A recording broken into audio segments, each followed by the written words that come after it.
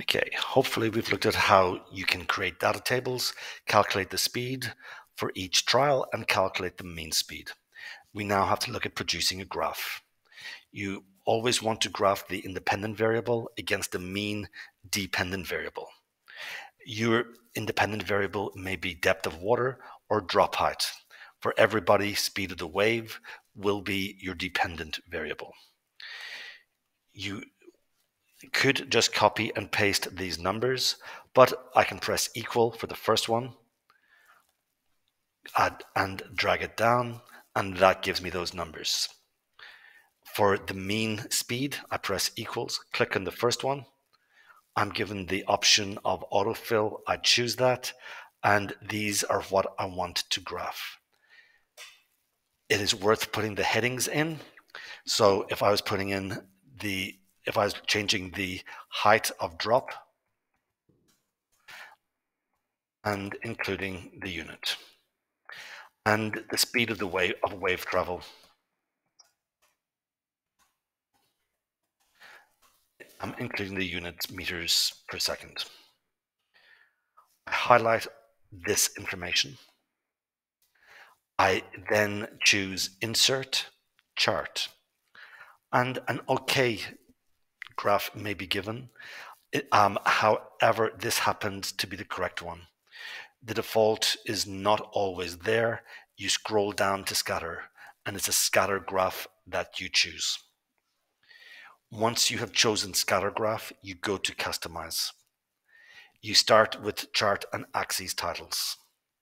The title up here should be changed because at the moment it doesn't make much sense put something like the effect of changing the drop height on the wave speed.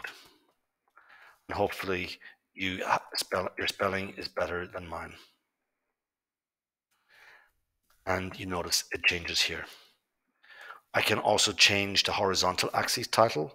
I see here I've got meters, whereas it should be centimeters the vertical axis title, it should be um, the mean speed of the wave.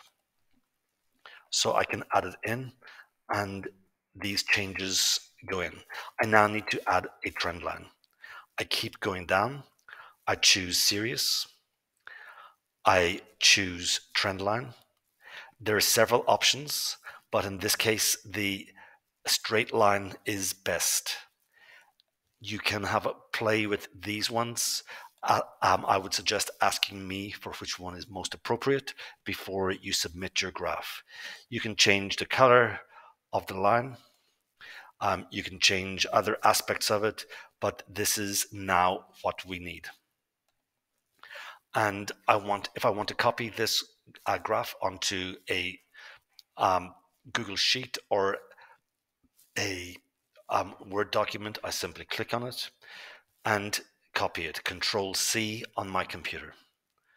I go to another document I want to uh, put it in.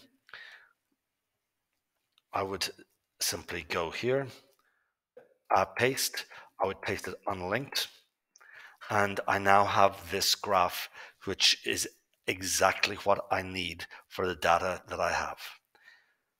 And this is how you copy the graph across. You can do the same with the data tables. So for example, I want to copy this. I just copy the whole thing. Command C, go back, go to the correct location and put in a graph. And just to make sure these um, gaps disappear, choose here. And you have got a very nice graph ready to use.